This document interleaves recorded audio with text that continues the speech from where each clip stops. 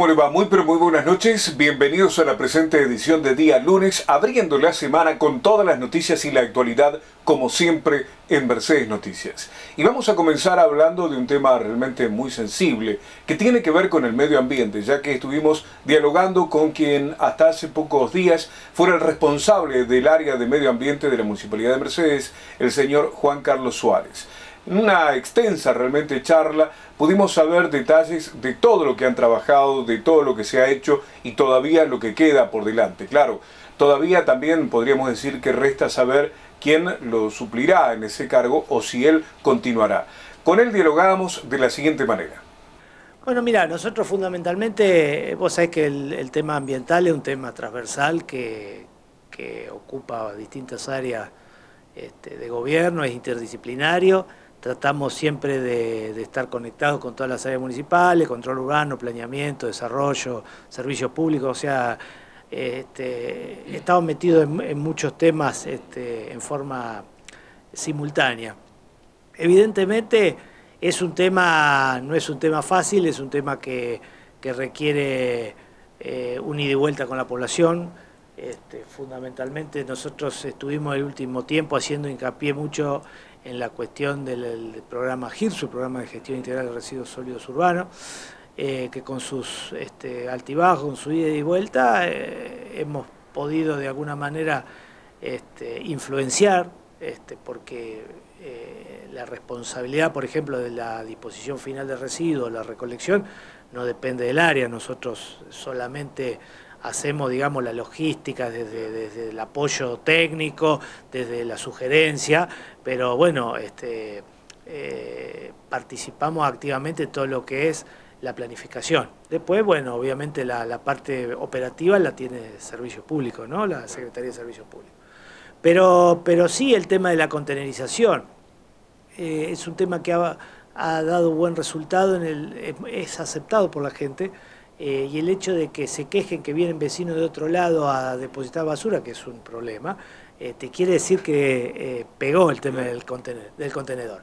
el objetivo es contenerizar toda la ciudad. De hecho, tenemos un sector importante ya contenerizado. Empezamos allá por febrero o marzo de este año y se han colocado más de 300 contenedores. Tenemos una tanda ahí esperando en el, en el Martín Rodríguez. Es un aporte que había hecho la Nación, que llegó una parte y que nos estamos pendientes de la otra. 100 nuevos contenedores había. Eh, claro, se entregaron este, 38, recibimos, este, y bueno, estamos esperando los otros, los otros para completar la zona que, fue contenerizada con los que quedaban de las dos de las tres compras anteriores que había hecho el municipio, esta sería la cuarta. Eh, la zona, la zona eh, prevista a contenerizar, bueno, arrancamos de la de la 40 a la, a la 16 en un primer momento, de la 17 a la 7, después la ampliamos hasta la 1, después la ampliamos hasta la 12 y después la última se tomó de la 17 a la 47, de la 40 a la 30. Obviamente no está terminada porque estaba previsto este, incluir estos contenedores que venían de Nación. Pero eh, la idea es seguir contenerizando. Por lo menos el proyecto, estamos a la espera de que las nuevas autoridades definan este, el futuro, pero creemos que es un tema que, ha dado resultado, después se recibió un, aporte importante de la Secretaría de Ambiente y Desarrollo Sustentable de la Nación, estos contenedores que están, bueno, por, venir el resto, pero hubo un camión, este, un chasis y, una, y el, dinero para la compra de la caja, este, compactadora con los, con los bracitos, con el levanta contenedores, que eso, eso debe estar en tema de licitación, ya te digo, no es, no es el área nuestra, pero fue todo gestionado a través del programa Municipio Sustentable Nación, y también ahí, este, no sé en qué habrá quedado lo último, pero se había actualizado un pedido que nosotros teníamos pendiente del año 2013, que contemplaba equipamiento para la planta de separación y el tema de la implementación de las 14 hectáreas, se hizo el estudio de impacto ambiental que fue elevado a la OPDS, el OPDS eh, lo está evaluando, ya tenemos un, preinforme de acuerdo, digamos, este, favorable a ese estudio de impacto, teníamos factibilidad para la instalación de las 14 hectáreas en ese lugar. Y bueno, y teniendo en consideración esto, bueno, cuando se pudo ampliar el tema del apoyo de la Secretaría en el municipio, programa Municipio Sustentable, se pidió este, una ayuda para eh, lo que es el tendido de la red eléctrica, eh, el alambrado perimetral, la primera trinchera, la excavación de la primera trinchera y la membrana, la geomembrana para la impermeabilización. Eh, logramos, se, habían colocado en los distintos colegios estaciones ambientales, una especie de contenedor que iba cambiando el logo de acuerdo al tema. Se, movilizó mucho, los chicos presentaron en la última jornada, como te decía, el 25 en el, Colegio San Antonio, hicieron ellos mismos este, la presentación del, resumen del trabajo, el cierre del programa con lo cual este, quedó demostrado que había una muy buena interacción porque fueron ellos los que explicaron, no que fuimos nosotros desde el área a decirle a los padres, a los que estaban presentes, qué es lo que habían hecho, sino que ellos mismos, venciendo muchas veces el tema de, viste, un chico de quinto grado, no es fácil este, plantarse adelante de otros de otros compañeritos o plantarse delante de un montón de gente para charlar. Así que fue una experiencia muy enriquecedora que esperamos poder tener continuidad el año que viene, poder llevarla adelante. Y bueno, después en el área se hace el día a día, tenemos eh, muestreo de agua permanente, nosotros hacemos este, análisis químico y bacteriológico de agua de, semanalmente del tanque distribuidor y los siete, de los siete pozos que vierten directamente a la red. Eso se hace toda la semana desde hace muchísimo tiempo, con lo cual aseguramos la potabilidad del agua de consumo de la población absolutamente. Este, también bueno, prestamos este servicio a los a quien lo pida, tanto particulares, se hace en escuelas, en instituciones, cada uno que lo pide lo hace, eh, se le, se le eh, presta el servicio el trabajo de la Secretaría realmente es muy amplio, muy amplio y actuado. Amplísimo. Nosotros tenemos el programa de control de fluentes industriales, o sea, hemos trabajado con el monitoreo de fluentes con las industrias. Bueno, tenemos todo el tema de categorización de industria, que es un tema, y el certificado de título ambiental de la categoría 1. No tenemos descentralizada la 2 y la 3, lo que pasa que hace dos años este, a través de una resolución del OPDS se extendió el nivel de complejidad ambiental que cerraba en 11 para la 1, pasó a 15, con lo cual se reconvirtieron, se recategorizaron, mejor dicho, unas cuantas empresas, lo cual agrandó el, espectro de la categoría 1, que queda bajo la órbita municipal. Este, eso nos facilita mucho más la gestión ante la empresa, porque al depender directamente de la municipalidad, el certificado lo otorgamos nosotros y el control también lo gestionamos nosotros. O sea que esto es mucho más, más ágil. En cuanto a los, el tema efluente, bueno, tenemos un condicionamiento que es la 5965, una ley muy vieja de la provincia de Buenos Aires, que el código, no, no el código de agua, sino la ley de control de efluente, que eh, la verdad nos, nos, limita bastante en cuanto al accionar, el poder de policía está en, cabeza de la Autoridad del Agua de la Provincia de Buenos Aires, lo que nosotros hacemos como mecanismo que venimos desarrollando desde hace mucho tiempo, que es lo que corresponde hacer, es sacamos el muestreo, hacemos el muestreo ante una denuncia o el que hacemos normalmente por, por programa.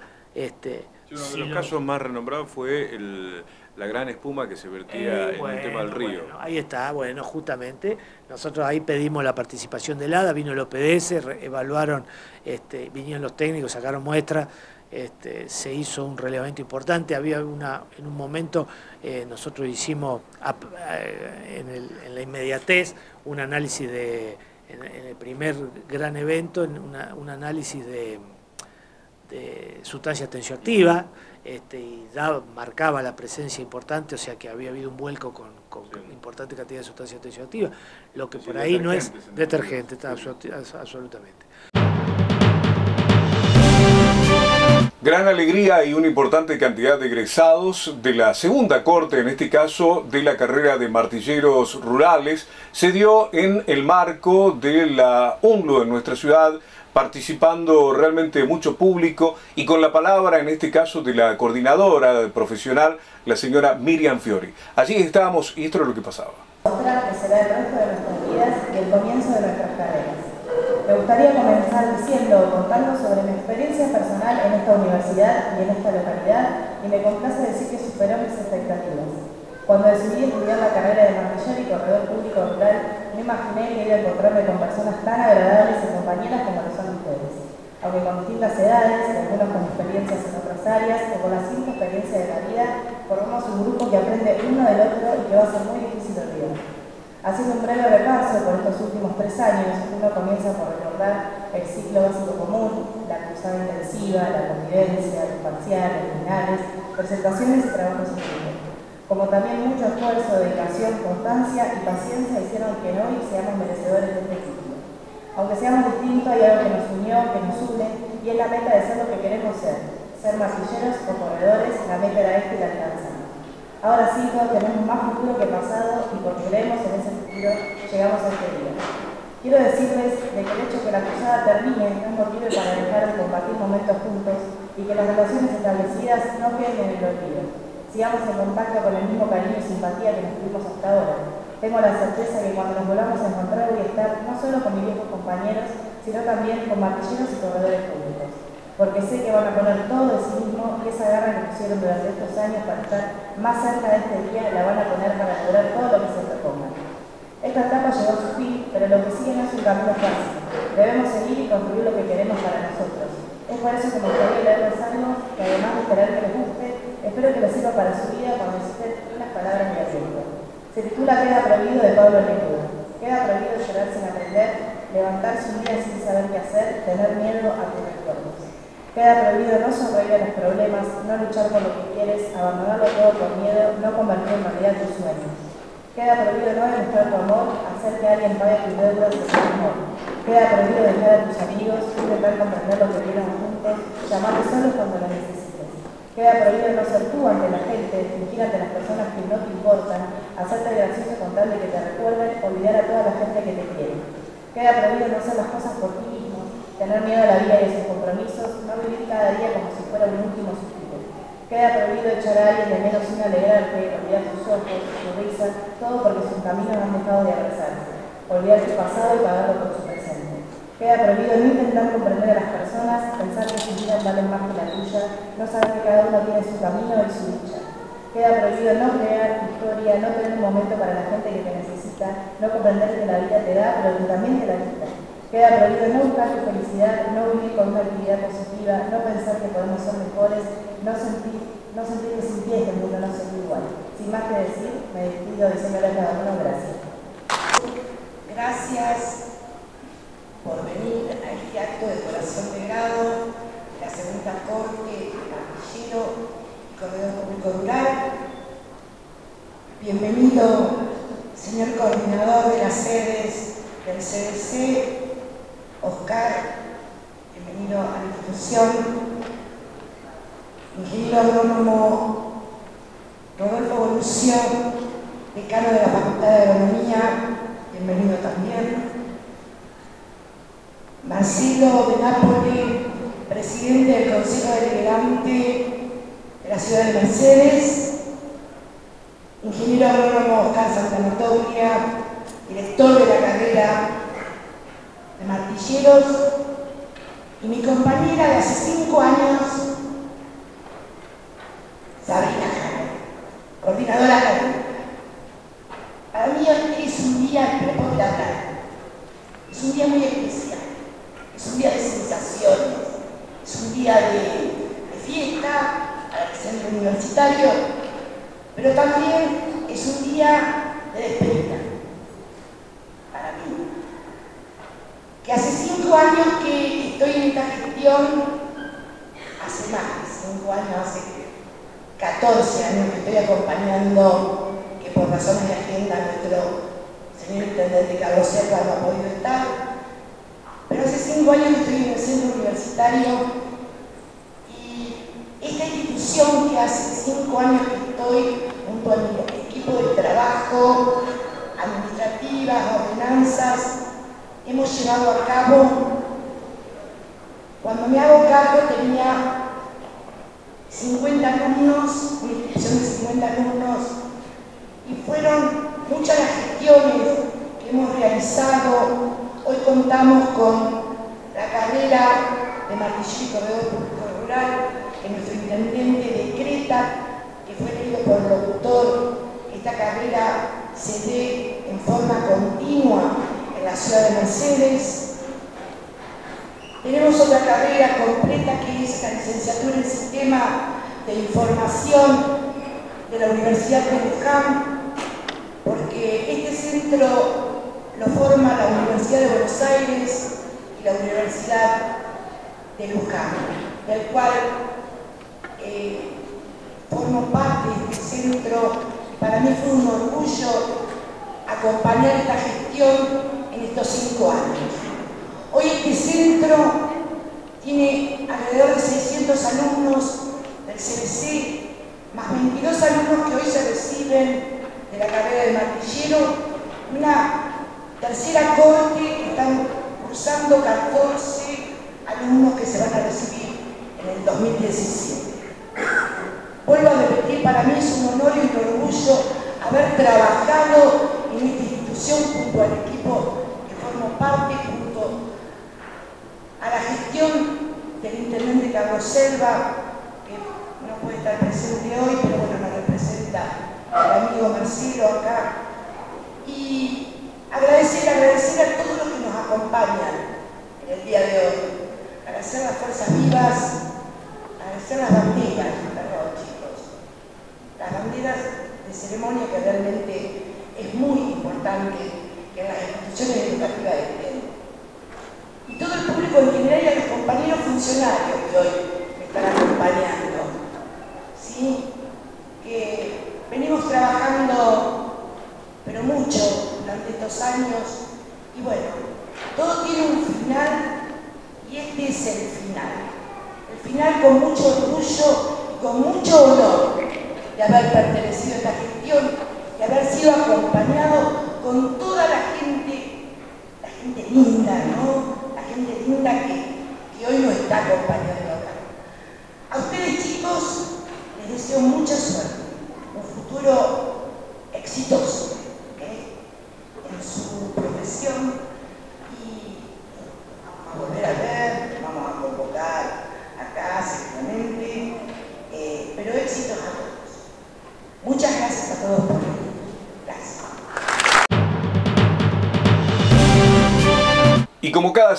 también tenemos los micros que nos proporciona el doctor Gabriel Menditegui Berna en relación a la salud y la estética. ¿Qué tal? ¿Cómo están? Bueno, hoy tenemos un tema importante, un tema que tiene que ver con lo quirúrgico. Muchas pacientes cuando llegan al consultorio solicitan y preguntan y no saben cuáles son los estudios que tienen que hacerse para una cirugía. Muchas creen que hay que hacerse una gran infinidad de estudios y otras no, creen que no hay que hacerse nada, que uno entra al quirófano sin hacerse nada. Ninguno de los dos extremos es lo correcto. En realidad hay que hacerse estudios, hay que realizarse determinados estudios que son los que dicen que nosotros estamos en condiciones de afrontar esa cirugía y de que vamos a estar bien, vamos a pasar por el proceso quirúrgico sin inconvenientes y el posoperatorio lo vamos a tener de manera correcta. ¿sí? Es decir, nosotros tenemos que hacernos estos estudios primero por una exigencia legal que existe de que para poder pasar por un quirófano tenemos que tener estudios determinados que deben estar bien. También es importante que tengan en cuenta que todas las cirugías plásticas, a diferencia de todas las demás cirugías, el paciente se opera solamente si está sano. ¿Qué quiero decir con esto? Que en todas las demás cirugías, los pacientes cuando van a un quirófano es porque están enfermos de algo. Es más, inclusive esa cirugía tiene como objetivo solucionar la enfermedad que está aquejando a ese paciente. Y el paciente, aunque no tenga los estudios perfectos, tiene que operarse igual. En este caso no, nosotros solamente operamos pacientes que los estudios están correctos y están en condiciones de demostrarnos a nosotros que ese paciente va a pasar bien el proceso quirúrgico y va a pasar bien también con posterioridad todo el posoperatorio. ¿Qué es lo primero que nosotros tenemos que pedirle al paciente? Son los estudios de sangre. En el estudio de sangre nosotros vemos sus defensas, sus glóbulos rojos, sus glóbulos blancos, ¿sí? cómo está la coagulación y cómo está el azúcar en sangre, por ejemplo. ¿sí? Estas cosas son fundamentales para la cicatrización y para que obviamente el paciente no tenga una hemorragia en la cirugía, ¿sí? se pueda coagular bien cada vez que nosotros hacemos un corte y que después la cicatrización posterior, que tiene que ver mucho la glucemia, ¿por qué? Porque el azúcar en sangre es lo que alimenta a las células que van a producir la cicatrización posterior a la cirugía.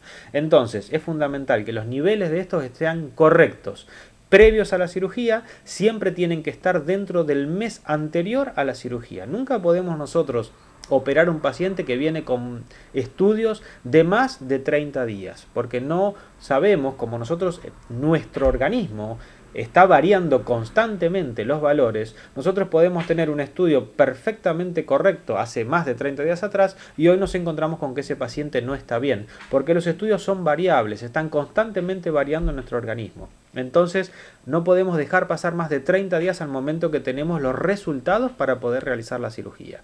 El otro estudio fundamental es el HIV. Nosotros le pedimos a todos los pacientes se operen de lo que se operen, el HIV. Es algo, es una constante que tenemos desde hace mucho tiempo, donde el paciente se informa, por supuesto, si tiene HIV y nosotros sabemos, tanto para nosotros, saber si tenemos riesgos o no. Esto no hace que el paciente que es HIV positivo no se pueda operar, eh, en absoluto. Para nada, los pacientes que son HIV positivos se pueden realizar intervenciones quirúrgicas y por ahí va a ser un tema para tratar más adelante en profundidad, pero quiero que sepan que no es un tema excluyente, ¿sí? Lo sabemos solamente para información y para saber de qué manera vamos a tratar ese paciente dentro del quirófano.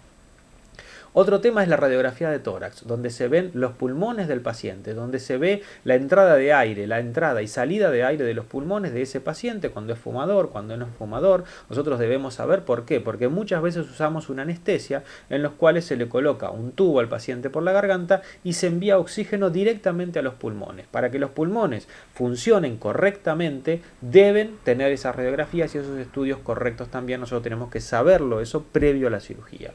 Otro tema fundamental que nosotros pedimos es el electrocardiograma. El electrocardiograma nos da a nosotros un registro de cómo funciona el corazón. El corazón hace latidos con los cuales envía sangre a todo nuestro cuerpo y lo hace con una sincronía perfecta, con un ritmo perfecto que debe estar establecido y debe estar estudiado en cada paciente antes de entrar a un quirófano.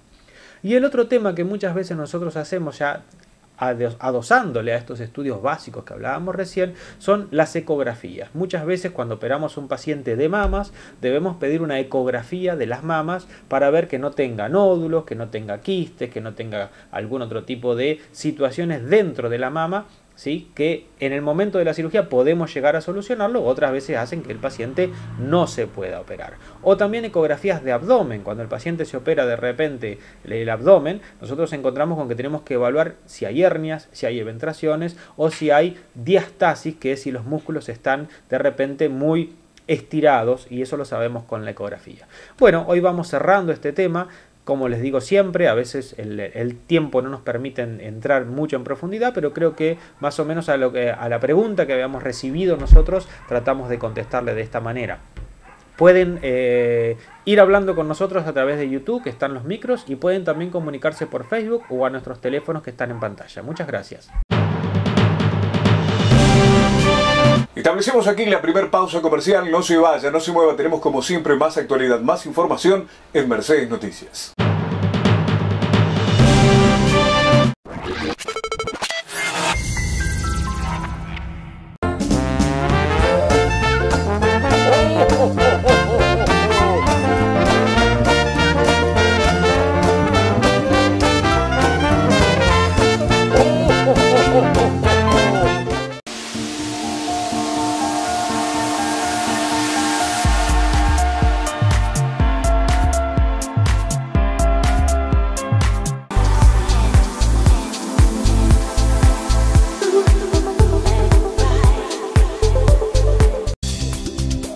Sindicato de Empleados de Comercio de Mercedes. La atención solidaria en la salud es nuestra prioridad. Por eso, seguimos avanzando, hablamos con obras y soñamos con mucho más. Sindicato de Empleados de Comercio de Mercedes. Calle 22, casi esquina 35.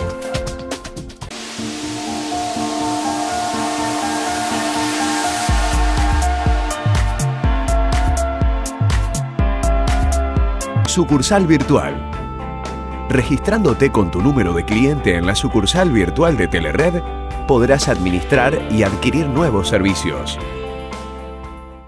Rapicuotas, el préstamo más rápido del mundo. Venís, firmás y te vas. Sucursal Mercedes, calle 25, número 613, entre 26 y 28.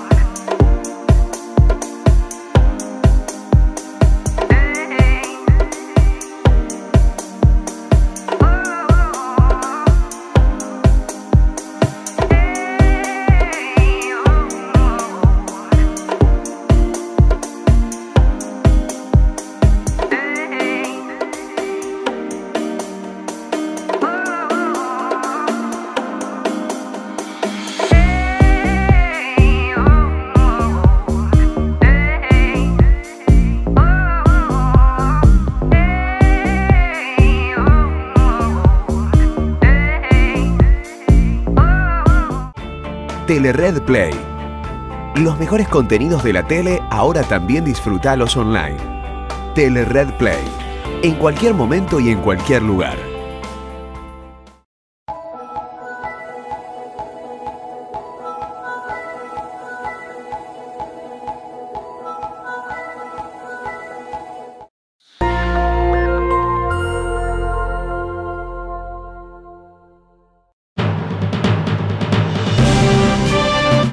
Regresamos de la pausa y nos vamos rápidamente al ámbito policial porque estuvimos dialogando con el comisario inspector Oscar Martignone, quien se refirió realmente a un hecho que podríamos catalogarlo como verdaderamente importante, ya que se ha podido dar con una importante cantidad de malvivientes y elementos probatorios que daría cuenta que podría llegar a la verdadera resolución de un caso que dio mucho que hablar, es el robo a la distribuidora Herrero.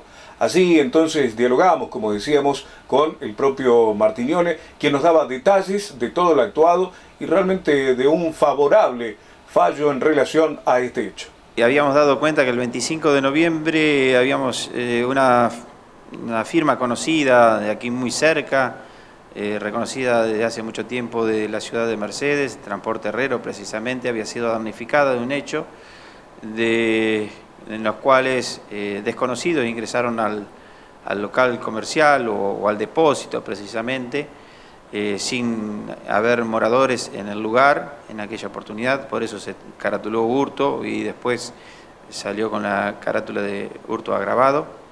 Y a partir de allí comenzamos a trabajar con la UFI número 3 intensamente, con el doctor Illanes y el doctor Fedulio, eh, con los cuales hicimos las primeras diligencias que fueron de de mucha importancia para la investigación y continúa el trabajo en forma silenciosa. Eh, el personal policial de la comunal eh, realizó algunas diligencias ordenadas por la justicia y ordenadas por la UFI número uno, ya que a partir de la semana próxima pasada entienden la causa el fiscal eh, de la UNO, el doctor Juan Ignacio Vidone, y especialmente tiene mucho que ver todo esto la doctora Vanina Echevere, que con la cual trabajamos mancomunadamente y con los demás cuerpos de fiscales. ¿no? Pero una vez más, eh, dando muestra de este trabajo y la rapidez, el profesionalismo que realiza la Policía Comunal con personal genuino, con el comisario Macedo, con el, gabinete criminológico, ha realizado varios viajes al conurbano bonaerense y han determinado algunas cuestiones que fueron importantes para adunar a la causa y que la Fiscalía número uno pudo solicitar las respectivas órdenes de allanamiento que se libraron por orden del juzgado de garantía y que se llevaron a cabo el día viernes próximo pasado eh, a, la madrugada, precisamente, de muchas horas de, de trabajo del personal, de todos y quien comanda esta policía comunal, quien se puso al frente del operativo y viajamos hacia Merlo, Parque, Parque San Martín y Pontevedra, la zona toda de, Merlo, ¿no? de Mariano Acosta. ¿Qué pudieron encontrar? Eh, allí viajamos también con, los fiscales, con lo decía, con la doctora Vanina Echevere y mucho tiene que ver el doctor Gastón Arena, que también formó parte de la, de investigación y tiene mucho que ver en esto. Eh, de la UFI número 7 y bueno, en algunos allanamientos pudimos encontrar los vehículos que habíamos detectado, que habían utilizado para venir a Mercedes. Llamativamente nunca nos deja de sorprender en materia investigativa, en materia de, delincuencia, nunca nos terminan de, sorprender, ya que uno de los vehículos utilizados era una ambulancia, que estaba ploteada como ambulancia, con las balizas, inclusive equipada para eso, y, y la persona que ha venido a Mercedes para realizar el transporte se encarga de este tipo de actividad, de ambulanciero, por lo que tenemos eh, por algunos testimonios. Y también detectamos un vehículo, el segundo vehículo, que es el que ha participado y que se ha llevado el cargamento, una F-100 eh, con duales que ya habíamos detectado por algunas averiguaciones que habíamos hecho y que era un tipo mudancero y que se establece que con estas personas habían sido eh, contratadas para hacer el viaje por lo cual se secuestran estos vehículos preventivamente, en primera instancia se, se allana el lugar, no se encuentra nada y después se establece que estas personas habrían sido solamente contratadas. A partir de allí se realiza un nuevo allanamiento, un allanamiento fiscal, sumándose un quinto allanamiento que se hacen en forma simultánea, los cuatro, y después se hace el quinto. Y se encuentra en este lugar no a la persona buscada, que ya la teníamos identificada, pero no se encontraba en el lugar, pero sí es muy grato decir que se han encontrado casi 3.000 paquetes de cigarrillos, eh, los cuales es muy poco a la cantidad que se llevaron, pero son una cantidad importante y probatoria, con las cajas que dicen transporte herrero, eh, sin ningún tipo de duda que son las que buscábamos. Eh, además se ha encontrado un arma 9 milímetros, una Browning, que había sido objeto de un robo a un policía en la ciudad de La Matanza en el año 2012, que poseía pedido de secuestro. asimismo se han secuestrado eh, importantes electrodomésticos, precisamente televisores de 60 pulgadas, marca Sony, embalados, que seguramente está en materia investigativa, pero no se descarta que sean de algún hecho eh, realizado alguna casa de electrodoméstico del Gran Buenos Aires, por lo que tenemos entendido. Eh, además, se han secuestrado telefonía celular, elementos probatorios que han sido adunados a la causa y a la detención de una de las personas buscadas que él mismo posee, además de este hecho, eh, se le pudo encontrar que tenía en eh, una evasión en en una comisaría y fue puesto a disposición de la justicia de Morón. Los dos detenidos que fueron, eh, que declararon que solamente trasladaron la mercancía, ¿son mayores de edad? ¿Son oriundos de qué localidad? Son todos mayores de edad y estos son de la localidad de Mariano Acosta, oriundos de Mariano Acosta también, el que queda detenido? El que queda detenido es de la ciudad de Merlo. El que queda detenido es la ciudad de Merlo y realizamos allanamiento en Mariano Acosta y Parque San Martín. ¿Ustedes creen que hay otra conexión, que hay conexión local, que hay más eh, para allanar? Seguramente, seguramente creemos, esto más allá de que el que dirige la investigación es el fiscal, el doctor Juan Ignacio Bidone de la UFI número uno, eh, no obstante, creemos, creemos, y esto me aventuro a decirlo, que las hipótesis son varias, que la, no se descarta ninguna hipótesis, como dijimos del primer día, de que se conoció el hecho, lo dimos a conocer. Cuando se cometen los hechos los damos a conocer, cuando nos consultan nosotros no escondemos ningún tipo de delito. el hecho ocurrió, lo dimos a conocer y las hipótesis son varias. Eh, como digo esto, digo también que no se descarta de que haya conexión de acá, por lo cual no hay ninguna hipótesis, ninguna certeza por el momento. Lo que sí hay certeza de que hay varios implicados del Gran Buenos Aires, que ya algunos están identificados y otros que faltan por identificar, que seguramente en las próximas semanas eh, se dispondrá alguna medida para con ellos y nos dirán la Fiscalía cuáles son los temperamentos a dotar para con cada uno de ellos. Y una vez más fue electo Hugo Bonafina en el cargo de los trabajadores del Estado. Nosotros dialogamos con él y esto nos comentaba en relación a las propuestas que realizarán próximamente al nuevo gobierno, fundamentalmente para mejoras salariales de los trabajadores de ese gremio. Uno de los organismos que más precarizados tiene es, por ejemplo, el Ministerio del Trabajo, que en teoría debería regular los trabajadores registrados o no. ¿Se entiende? La contradicción de este gobierno que se está yendo. Eh, entonces, em, por, em, la iniciativa que tiene ATE es organizar fundamentalmente los nacionales, eh, tomando a cargo esa organización, que tiene que ver con también una impronta de cómo discutir en cada organismo, y en donde más se nota la precarización incluso en lo que son sectores que funcionan acá en Mercedes, es en, el Ministerio de Desarrollo Social, que conducía hasta ahora Alicia Kirchner, y que ahí hay trabajadores que ahora están todos nuevamente nucleados en el Martín Rodríguez, que estuvieron en algún momento en la oficina de pensiones eh, funcionando acá en la 30. Bueno, todos o casi todos los que trabajan ahí están precarizados, inclusive algunos que venían antes del kirchnerismo y otros que vienen después y tampoco fueron pasados a planta. Eh, también hay en otro organismo, incluyeron ANSES, hay organismos que todavía eh, facturan con lo como se llama monotributo, pero eso no ocurre nada más que en el Estado Nacional, que tiene, ya te digo, 95.000, sino que ocurre en el Estado Provincial, eh, tenemos becarios en los hospitales, becarios en, desarrollo social también, también en el Patronato de Liberados, en, en cada organismos hay en el registro civil, bueno, en cada organismo hay trabajadores que no están en planta, después de varios años de trabajo. Y el último caso, más grave, es el caso de los municipales.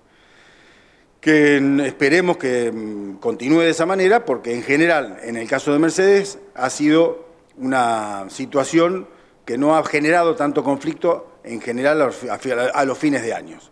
En otros municipios ha sido patético porque a veces hasta tienen más de la mitad del personal sin estar en planta. Con lo cual le bajan contratos, le suben contratos, nombran nueva gente que tiene más necesidad o que tienen un compromiso político, entre comillas, estamos peleando puntualmente para eso. Después nosotros también planteamos en esta reunión que fue del año, la semana pasada de Nacionales, que abarcamos todos los, eh, todos los estados, que en todos los casos hemos tenido una pérdida de poder adquisitivo después de la devaluación del 14 y que en todas, casi todas las paritarias cerraron, en el caso de los estatales todas, cerraron con pérdida de poder adquisitivo. Históricamente hubo en el Estado Nacional bonificaciones a fin de año, por, ser fin de año, aparte de todo lo que es ingreso salarial. Nosotros, eh, en muchos sectores se perdieron esas bonificaciones y en algunos todavía se mantiene. Y como se perdió este año poder adquisitivo, pretendemos y reclamamos a todo el Estado Nacional, al Estado Provincial y al Estado Municipal un bono especial por fin de año que sea adecuado a cada organismo, porque sabemos que no es lo mismo lo que puede pagar el Estado municipal que el Estado nacional. Entonces, la medida de fuerza de este jueves debería ser abarcativa, los provinciales, por supuesto, van a estar parando, los nacionales tendrán que hacer las asambleas, porque también tienen otra, otra metodología, y eh, los municipales todavía no tenemos capacidad organizativa, pero no descartemos que pueda organizarse acá o en otro lado eh, la posibilidad de parar para reclamar esto avisándole al próximo gobierno a su vez que no toque ningún trabajador del Estado, porque en realidad, digamos, mucho a este gobierno no le podemos pedir porque se está yendo, sino que estamos haciendo un planteo no solamente contra el bono, sino fundamentalmente en que mm, ante cualquier situación de despido, de baja de contrato, nosotros vamos a empezar a actuar, vamos a seguir actuando como siempre lo hemos hecho, ¿no? que dijimos en la última campaña justamente, gobierne quien gobierne, antes de los trabajadores, así que esperábamos que cualquiera que fuere íbamos a hacer la acción pensando desde los derechos de los trabajadores, sin involucrarnos en ninguna eh, cuestión partidaria que es lo que a veces nos copta y nos impide y nos debilita. Por eso nosotros partimos desde el derecho, del concepto del trabajador. Este gobierno que va a entrar plantea un inicio de clases para el 29 de febrero y también planteó que bueno que si realizan un paro antes eh, de que ingresen las clases no van a tener no va a ser necesario porque digamos que iban a acordar con los eh, trabajadores. Me parece muy buena, muy inteligente la propuesta, así que esperemos que asuma este gobierno y convoque la, que nos convoque a nosotros. Estamos, nosotros no tenemos verano en cuanto a tomamos vacaciones, todo el mundo se descansa, pero siempre estamos al pie con algún compañero que se hace cargo de lo que tenga que hacerse cargo, entonces la conducción provincial va a estar preparada, nacional, porque esto seguramente arrancará de nación, como lo han hecho ya en este último proceso, y de acuerdo a lo que planteen, porque no quiere decir que porque nos sentemos a conversar estemos de acuerdo con lo que nos proponen, así que eso lo vamos a decidir nosotros. Y si realmente hay alguien inquieto en la ciudad, esa es Mirta Retamoso, que a través de su organización está permanentemente pensando en los más necesitados y fundamentalmente ahora que llegan las fiestas. Mirta Retamoso nos propone algo realmente interesante, que es una caja de comestibles y víveres fundamentalmente para los que más necesitan en las próximas fiestas. Y esta era la propuesta que nos daba a conocer, no solamente ella, sino también acompañado de un nutrido grupo de niños de la Escuela Santa María, junto también a Paula, una profesional psicóloga. Este, estamos trabajando, yo como presidenta de la ONG Mujeres del Noroeste por la Justicia Social, junto con la señora eh, psicóloga social Paola Landaburo, que la tengo a mi derecha, y con los niños del Colegio Santa María, que eh, empezamos a trabajar eh, hace cosa más, más o menos de un mes. Nos pusimos a charlar con, la, psicóloga social Paola y bueno, este, surgió este proyecto para cerrar este gran año que es este, nuestra organización. Em, el tema se trata de, armar la caja, eh, después ella te va a explicar bien, eh, armar la caja navideña para los barrios. Hicimos un relevamiento en, los barrios y salió sorteado, o sea, más bien hicimos un sorteo, y salió sorteado este, el, barrio de Goglan. Así que allá nos dirigimos, hicimos un relevamiento junto con la secretaria de la Sociedad de, Fomento, Paola González, y ella este, articuló con los vecinos y bueno, se sacó em, eh, más o menos 23 vecinos donde van a ser em, en este momento elegido para llevar su, caja navideña y solidaria, porque eh, la caja consta de que también este, buscamos los padrinos de, ese, de ese grupo de gente. Así que bueno, estamos terminando ya este año, estamos esperando la Nochebuena y, y pensamos que hay gente que que realmente la está pasando bastante mal con, muchos este, con mucho estamento en todo lo que en todo lo que estamos viviendo en la Argentina. Entonces este, vimos la posibilidad de trabajar y que toda esa gente que la está pasando mal tenga su caja navideña Así que bueno, este eh, fue el proyecto, comenzamos, lo trabajamos y bueno, creo que ya eh, va a dar fruto la semana que viene, vamos a recibir todas las cajas en la, en la este, Cámara Económica, donde también este, Ariel nos abrió las puertas para que nosotros este, consideramos las cajas, eh, bueno, eh, los padrinos la preparen y lleven en un lugar específico eh, para juntar todo y después ir al territorio, o sea, bajar a, a Goglan y llevar las cajas.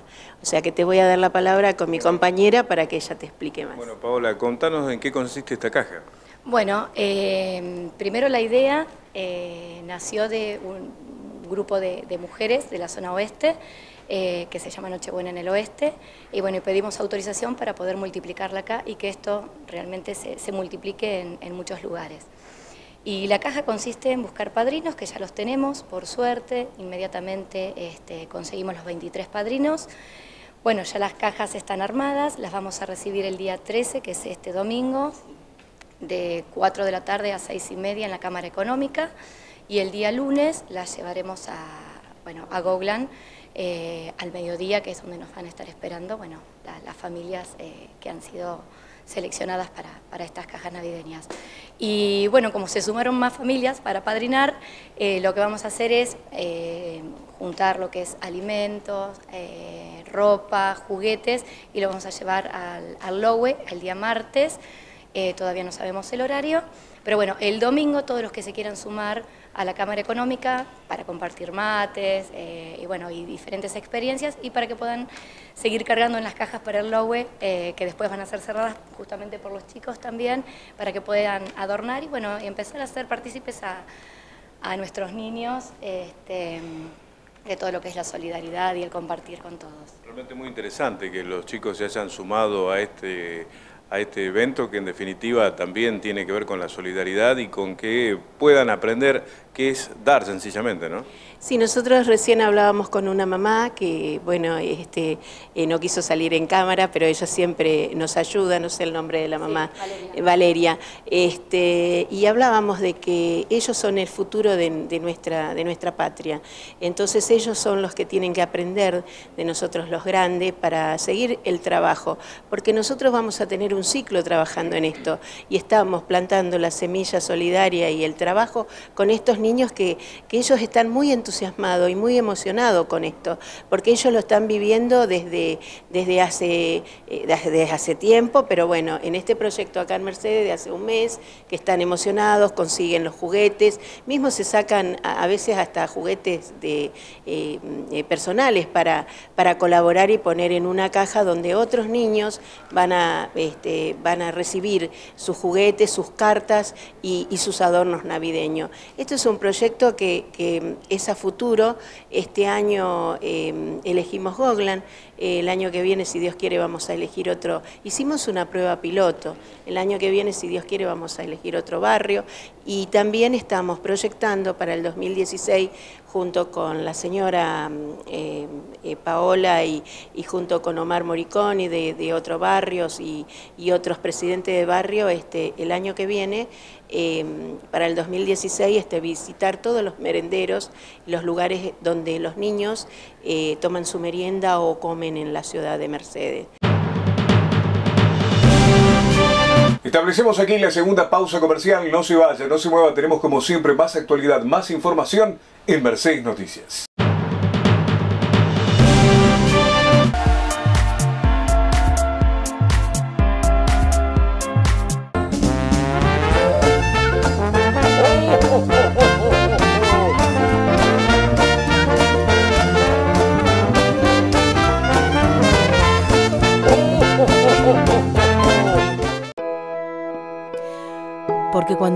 Es cosa de ellos, vos igual te metiste.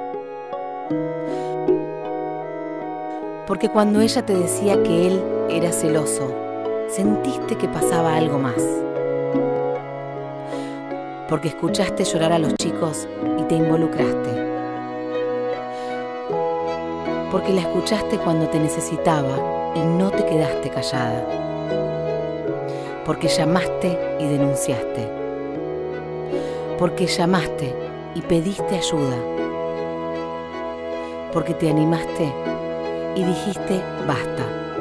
Todos somos parte de la solución. Línea 144. Contención, información, asesoramiento. Las 24 horas, los 365 días del año en todo el país. Ley 26.485 de Protección Integral contra la Violencia hacia las Mujeres.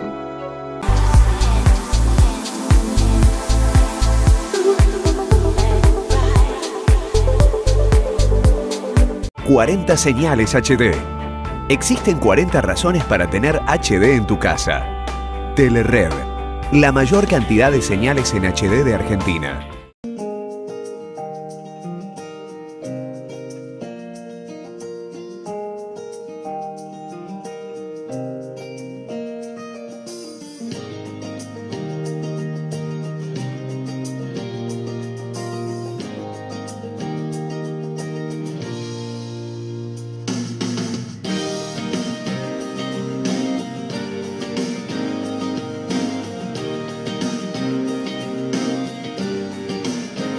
Suma tu respeto en calles y rutas para transitar una convivencia más segura.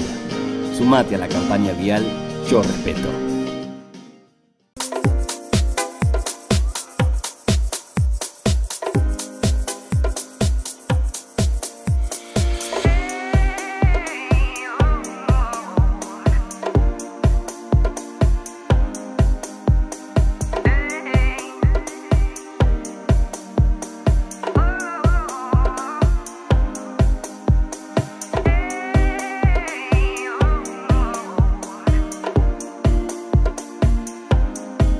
Rapicuotas, el préstamo más rápido del mundo. Venís, firmás y te vas. Sucursal Mercedes, calle 25, número 613, entre 26 y 28.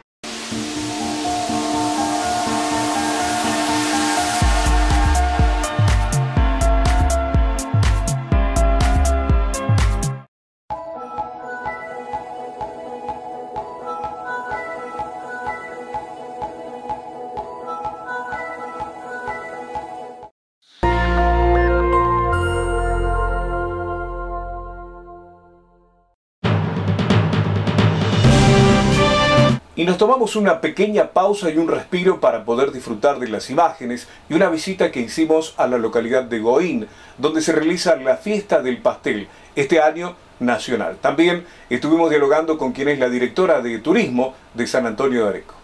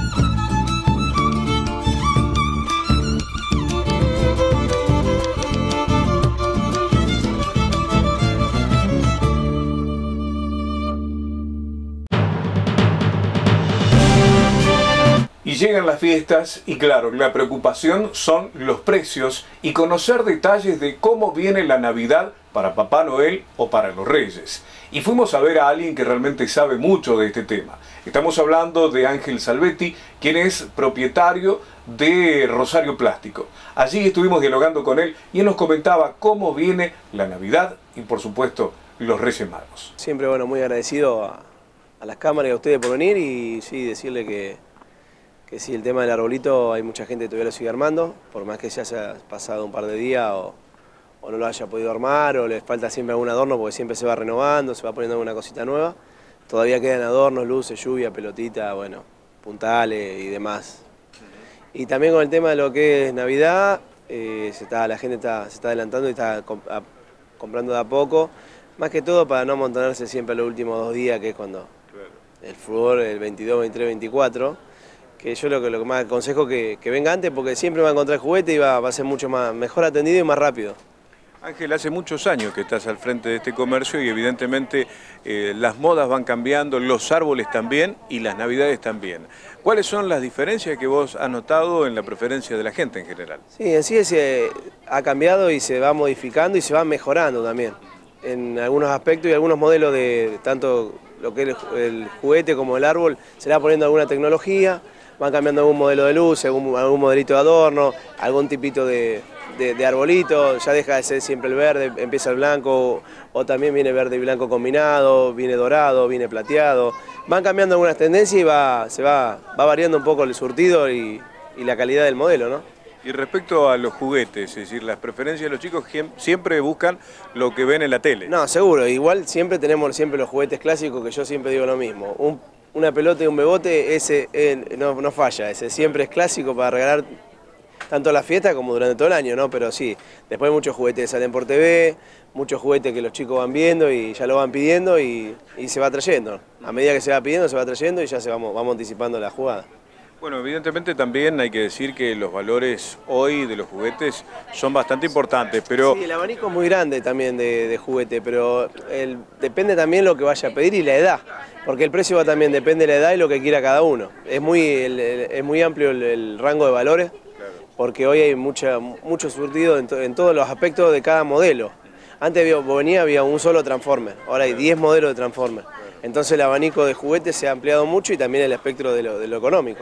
Pero también hay que destacar algo que creo es importante, es decir, aquí en Rosario Plástico hay de todo y para todo precio.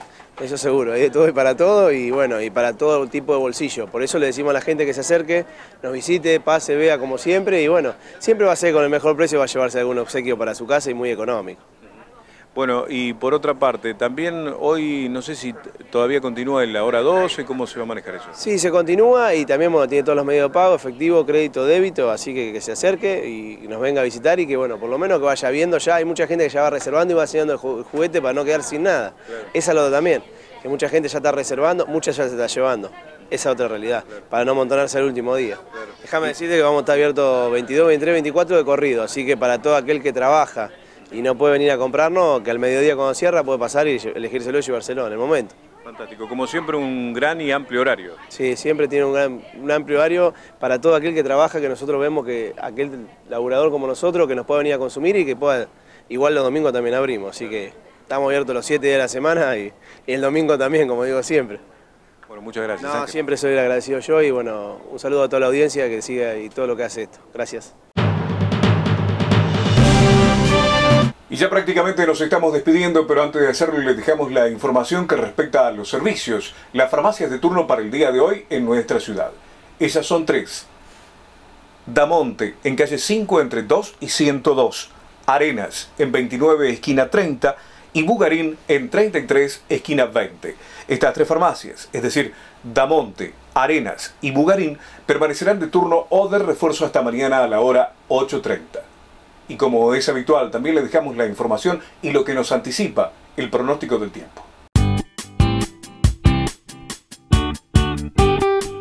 Hola, ¿cómo están? ¿Cómo les va? Bienvenidos como siempre a Info Clima TV. Comienza una nueva semana y les cuento que para este lunes 14 de diciembre, tal y como se venía anticipando, la inestabilidad que sigue presente en todo el centro y en el norte del territorio nacional, generando lluvias y tormentas de variada intensidad. Veamos cómo siguen afectando estas lluvias a la provincia de Buenos Aires, más en detalle, donde todavía vamos a tener inestabilidad va a ser en la franja oeste en la zona costera. En Mar del Plata, lluvias débiles, en Bahía Blanca, chaparrones un poco más intensos, las temperaturas mínimas de 15 a 16 y las máximas que se mantienen altas, aunque los vientos rotan del sector sur van a estar alcanzando los 26 y 28 grados. Tormentas y fuerte actividad eléctrica para la zona oeste, entre Quelauquen, en Junín y en sus alrededores, con mínimas de 13 a 14, el ambiente un poco más fresquito para comenzar esta jornada y las máximas con muy buena amplitud térmica alcanzando los 28 y 30 grados. Cielo parcialmente nublado para comenzar esta linda semana en la zona de Capital Federal y en sus alrededores, hacia el extremo nordeste de Buenos Aires, donde vamos a tener mínimas de 19 grados y máximas alcanzando los 28. Una jornada inestable pero de calorcito todavía para toda la provincia de Buenos Aires. Eso es todo por hoy. Muchísimas gracias a ustedes por acompañarnos siempre. Que tengan todos un excelente comienzo de semana y nos volvemos a encontrar, por supuesto, en una próxima emisión del pronóstico del tiempo a través de Infoclima. Muy bien, muchas gracias, como es habitual, y nosotros nos despedimos así de esta manera para reencontrarnos, si Dios lo permite, en el día de mañana. Que tengan ustedes un muy pero muy buen descanso y la cita, recordamos, para encontrarnos mañana con toda la actualidad y las noticias. Muchas gracias.